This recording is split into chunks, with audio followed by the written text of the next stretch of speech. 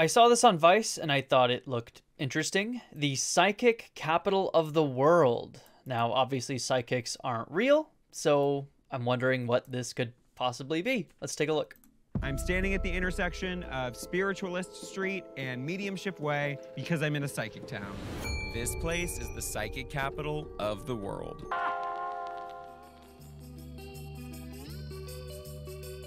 Cassadaga, Central Florida. Florida. Of course. This is in Florida, dude. Oh my god. Where else would the psychic capital of the world be but Florida? Holy shit. That is the least surprising thing I've ever heard. It's probably going to be the least surprising thing in this entire video. And I got an orb right up here already. Take pictures, guys.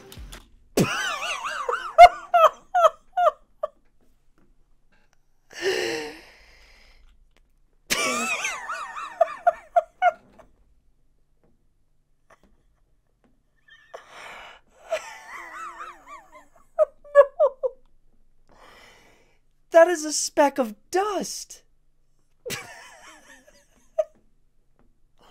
I've got an orb right up here. We're on a spirit orb tour. We're walking around taking flash photos of different buildings and different Yeah, dude, if you're taking flash photos, there's going to be like little reflections that are going to create little orbs. Are you kidding me?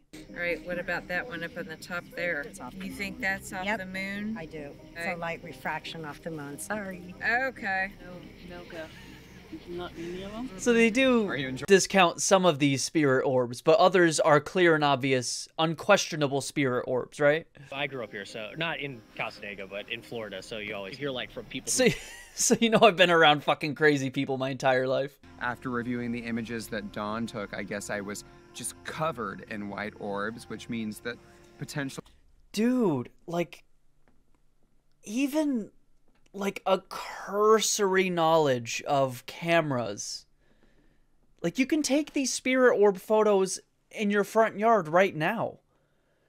Like how has not one person there not one photographer has ever been there and explained like how cameras work to this person? So I'm linking up with Lori and Sydney Carter. They're two mediums in town who hold a weekly messaging service where they claim they can communicate with your dead loved ones. I don't know if someone's having a birthday around Christmas or someone passed at Christmas. Thank you. My birthday. It's pretty impressive. Watch Okay.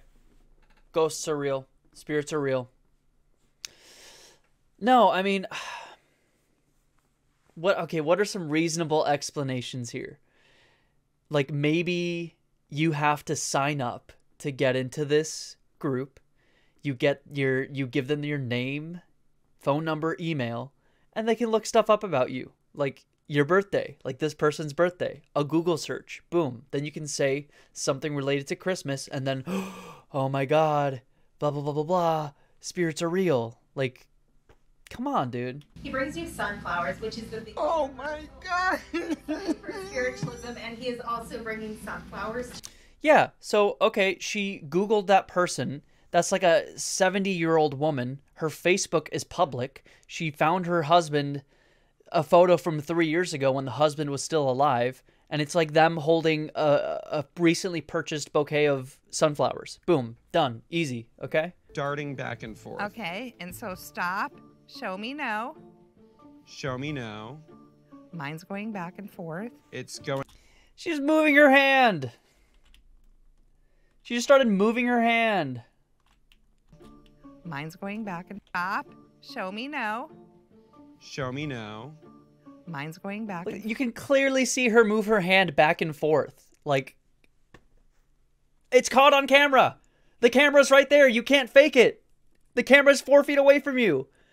Jesus Christ. So after the messaging service, Sydney invites me back to her place to give me a one-on-one reading. tell me a few things about myself or some things that you are tuned into that Again, like, he's asking, tell me some things about myself, but, like, they schedule this in advance. She's probably had weeks to Google search this guy. What's fun is you've had a gentleman in spirit who's been around you all day since you got here. who is this gentleman? I'd probably put him in um, 60s age range. He definitely would have passed from something going on with his chest. I do feel like it's more heart. And I do know he would have had some issues with his digestive system as well, all the way from top to bottom. I know he has blue eyes, and I'd say he's, I want to put him over six foot. He feels quite tall to me. And it's interesting because I know he would have been in the military. I do feel like he is in a family line. So, what I want to Digestive issues in America, you don't say. Yeah. Hey, sweetie, you okay? Yeah, I'm good, Mom. I'm in the middle of a reading. Do you want to tell her what Yeah, I who this man is? So yeah, I- I'm gonna predict right now. She Googled this Vice reporter, who's a relatively public figure, um, and she found out who his grandpa was. She said he was in the military. So like, she looked up his last name, found out his grandpa, who was in the military, um, and like looked up stuff about him. L- like lo- looked up his obituary and found out he died of like colon cancer or something like like throat cancer mixed with colon cancer. Like she found his obituary, he was in the military. It's going to be like his grandpa, her dad or whatever. Like these people are professional googlers. Yeah, I do feel like this is somebody who would be in the family. Huh, that's interesting. My dad was in the military. Boom. Gave me 65. My dad was 66 exactly when he died. Tell me something you can't find on Google and I'll be maybe impressed. But like okay, you found a soldier's obituary from a the grandpa of a public figure. That is not impressive. It can take up to six years to become a certified medium with the Cassadaga Spiritualist Camp, and it's not cheap either, with classes normally $50 a pop.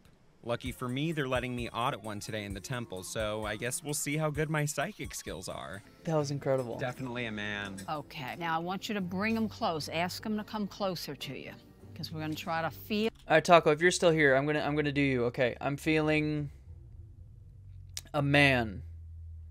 He's got a beard. Um, does that describe anyone in your family? I'm not very good at this. I would not be. I would not make a good medium. He's a hard ass. I just described you. oh shit! Maybe I've got the gift. I just described myself. but maybe I got the gift. I mean, I'm not gonna lie. I- Okay, he said like eight or ten things, and he got two of them right. This is evidence of ghosts and spirits? Not to me. My life was just hardship after hardship after hardship until I finally accepted okay, I have to go back to Florida. I moved back here, and it was almost like spirit. Oh no. When you're facing enough hardships in your life that you have to go, I need to go back to Florida. I mean, you got to be facing some real hardships there. But personally, I needed to see some physical evidence. Let's go. Amen. Physical evidence. So I begged Lori to let me sit in on one of the camp's most sacred rituals, a table tipping.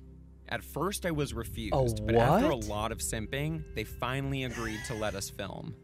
I'm standing here in front of the Slater house. In just a second, we're gonna go in for a table tipping. Oh, let's go. I guess it's a version of a seance where we just put our hands on the table, and if there's spirits there, they move the table. Obviously, it seems super spooky. When we came to Cassadaga, we didn't know if we were gonna get this. The physical stuff is heavily guarded by the camp, and I'm assuming it's I, I wonder why. Why would the physical stuff, i.e., us the things that you have a smidgen of like evidence to them, be so heavily guarded by this camp? My prediction: nothing happens, and they just go, eh, you know, sometimes something happens, sometimes nothing happens. Eh, come back next time, maybe we'll see. When we do table tipping, you, you normally put your palms and your fingertips Do this on with the me, do this with me. table as lightly as you can.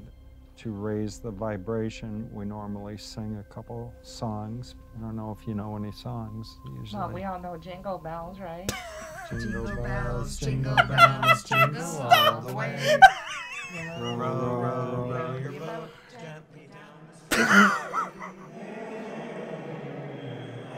They're sitting around a table singing jingle bells. Show us a yes. I I actually feel felt like it was getting ready to tip. I kind of feel it. Yeah. Don't you? So like Yeah, hum- you feel it because there's two people right there moving their hands as you speak. That guy is moving his hands. He's doing this. Like maybe your eyes are closed and you don't see the man literally doing this. I also feel the humming, but I can't put my finger on where it's coming from. The wheels on the bus go round and round. The guy moving his hands. At this point, it doesn't seem like any spirits are going to move this table, so we pivot to another exercise called Transfiguration. So, I am I have powers. I predicted the table would not move, and it didn't move. My final prediction came true. All of this stuff that they've described in this video can be explained through reasonable means. Like, period. The way it works is if there's a spirit in the room, they'll secrete a blue mist called ectoplasm in front of the medium. So that way we can see a projection of who that spirit is What? on their face. So what we're looking So they're gonna have a spirit like drop a load on someone's face? I'd like to see that. changes They're waiting for a spirit to like changes dump his load on her face. changes to the chin. It almost looks like a male spirit. It's like Yeah, it's gonna be a male spirit. mustache. It's gonna be a male I'm spirit. So the table didn't tip. It didn't really even move at all. There was just a little bit of a shaky table, which I actually think I can attribute to Reverend Phil because I snuck a few peeks and his hands were pulsing the table. Transfiguration. Okay, I'm gonna try it. jingle bells, jingle bells, jingle all the. Whoa, is this is this picking up on camera? I'm not doing anything right now. I'm not doing anything. I I say like do every single one of those things on camera all the time and like win your Nobel Prize. Like prove the afterlife exists and you will be the most famous that that's like that'll be the most famous discovery in the history of our species. Like period. If you can prove ghosts exist or like an afterlife exists, anything like that, that would be bigger than any other discovery in the history of all science, all discovery, period.